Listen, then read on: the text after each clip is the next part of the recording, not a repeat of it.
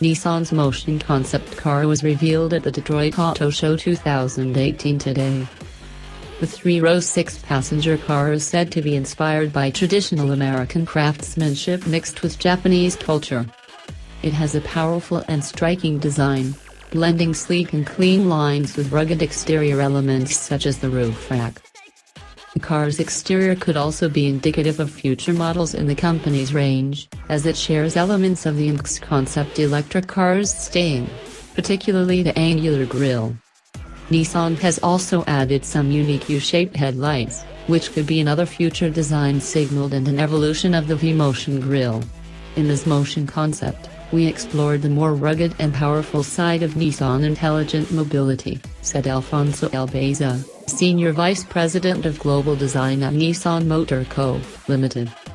Bold and powerful forms and proportions are, upon closer inspection, contrasted with aspects of traditional Japanese craftsmanship expressed in a contemporary way.